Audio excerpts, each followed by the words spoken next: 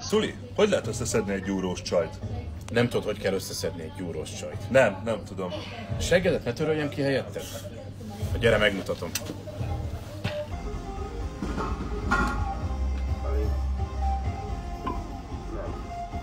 Igen? Te olyan vagy nekem, mint egy fehérje turmix. Mégis miért?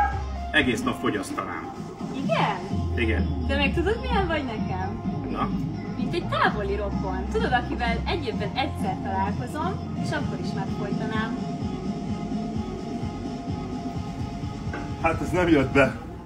ha annyira undorodna tőlem, nem akarna megfojtani. Az igaz.